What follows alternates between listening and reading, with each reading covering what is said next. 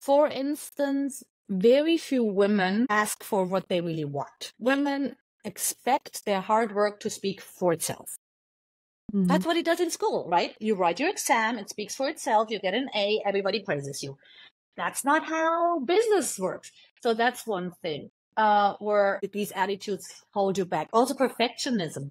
You might actually never raise your hand to present to a more executive audience, to the board, because you're too afraid. You might forever edit your presentations. You might mm-hmm yeah, you might keep it's yourself also back, right?